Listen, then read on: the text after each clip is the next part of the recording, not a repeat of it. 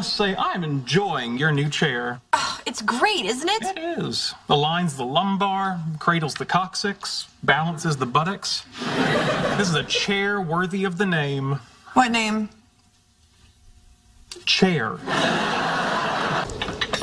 Pretty cool about Howard, huh? Don't talk to me as if nothing's happened between us. And yes, it sure is, buddy. Stop yelling. Please. Fright depends on an element of surprise. The simple fact is, because I am much smarter than you and able to anticipate your actions, it is highly unlikely that you two rubes could ever surprise me.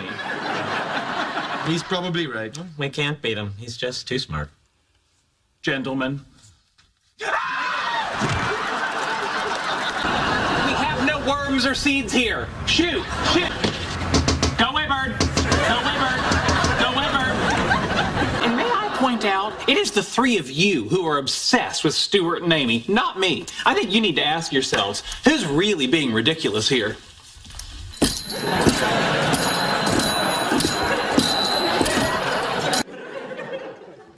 Sweet!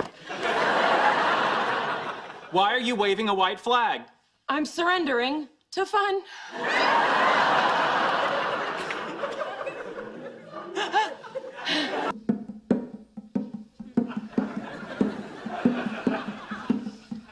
Don't let this be Sheldon playing bongos. Hello, Leonard. Do you like my bongos? Bet you didn't know that I had bongos. Sheldon, it's three o'clock in the morning. Three in the morning is a good time for bongos. I was sleeping. Leonard sleeps while I play bongos.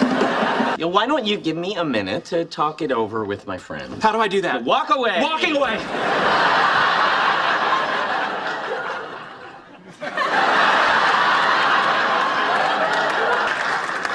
Sheldon, come on back.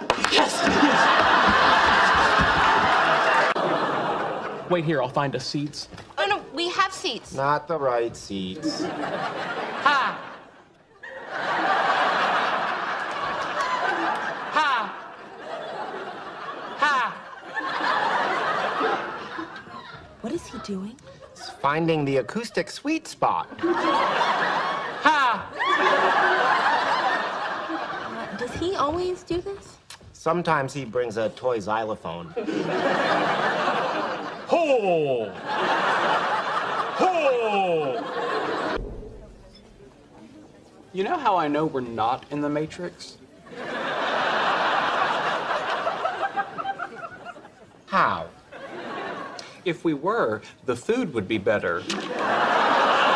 Fine. What do you want me to do? Smile.